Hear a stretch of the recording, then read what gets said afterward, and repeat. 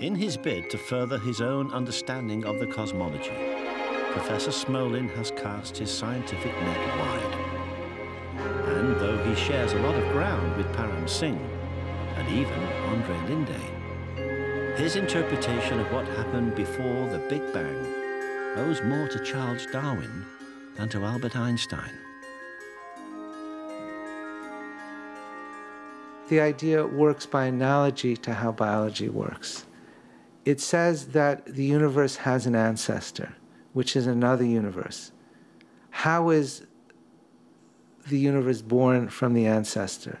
According to this hypothesis, the universe is born inside of a black hole.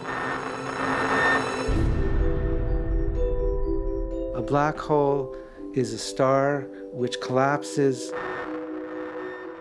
and where everything becomes infinite and time stops there is a bounce inside of every black hole. The material contracts and contracts and contracts again, and then begins to expand again.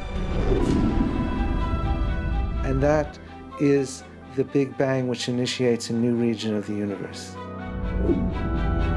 Smolin's natural selection idea proposes that for a universe to prosper, it must reproduce.